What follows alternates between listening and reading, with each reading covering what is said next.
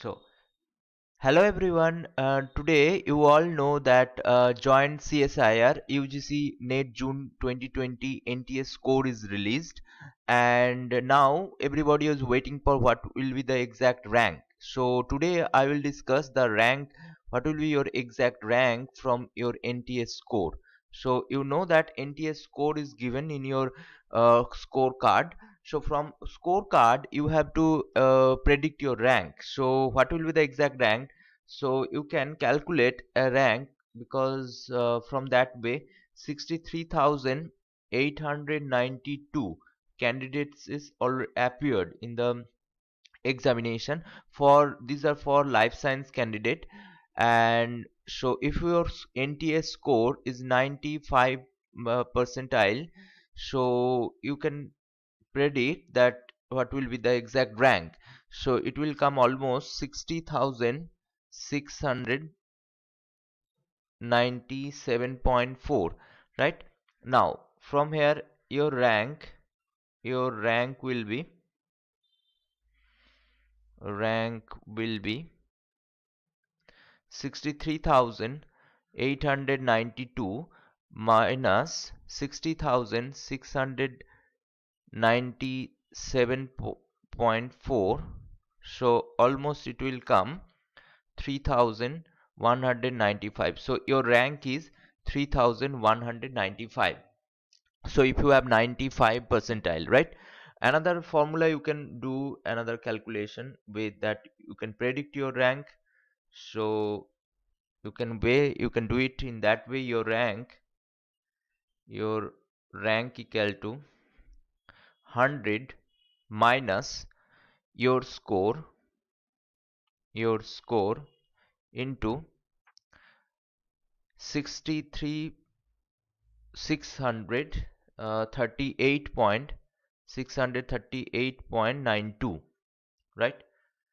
So if your score is 95 so you can put it here 95 into 638.92 it will come almost near about um, 3195 right? So your rank you can predict in that way your rank. Now the whether you will qualified or not. Now you don't know whether you will qualified or or not qualified. We'll discuss from your uh, rank you can predict whether you have qualified or not right? So how you can do that? Now first is um, the qualifying percentage. The percentage in during this exam only one percent student one percent to two percent maximum student will qualify right? So if from that way you can predict 63,000 63,892 it's one uh, um, one percent. That means you will get this rank right? 638 so 638 so if your rank belongs to 638 then you have a chance right? Now according to percentile if you are belongs to general category general category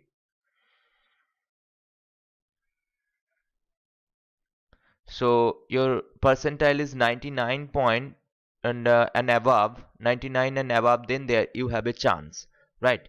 You have a chance to qualify for JRF and if your percentiles uh, belongs to below 95 then 99 sorry below 99 percent then there is uh, less chance for JRF and if it belongs to 98 to 99 99 these are 99 and above 99 and above percentile these are about percentile percentile. Percentile. So in if you have 198 to 99 percentile then you have a chance of ls right? Now another is that if you are belongs to reserve category like in uh, obc obc candidate then you have a percentile on in terms of percentile percentile if you have 95 to 94 percentile then you have a chance right? Either JRF or LS there is a chance. And if you are belongs to SC ST SC ST and then if you have you, you must have almost near about 90 percentile right 90 percentile then you have a chance for JRF 90 percentile. So this prediction uh, this prediction is a little bit difficult because your NTS score actually uh, given based on all over the candidates for those candidates appears in the exam on the basis of uh, they have given. And, and uh, if you are belongs to reserve category then you have you, you uh, have to wait for because uh, you can here's a this prediction is approx prediction right? And may vary from one um, from actual prediction right? Mm, because uh, because your calculation percentage percentile whatever given in the uh, your scorecard this percentile is based on overall uh, total candidates appears in the exam right?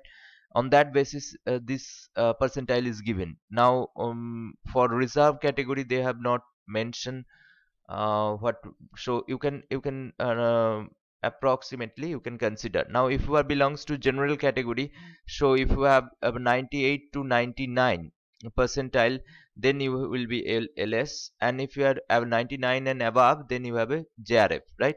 Then you can and, and those are belongs to below 90 8 percentile 98 to 97 percentile they can start preparation for the next session.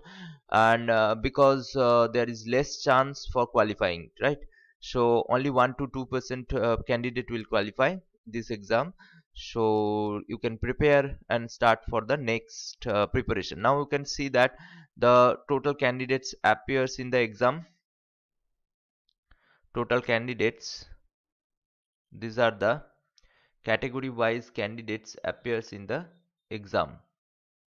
Now first see the centers and uh, spread these are and in case of life science candidates these are uh, category wise gender wise number of candidate registers are appeared.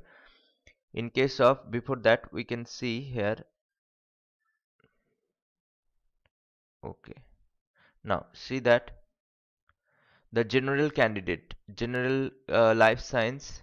These are general candidates total number. These are EWS these are OBC candidates. And these are total given female candidates.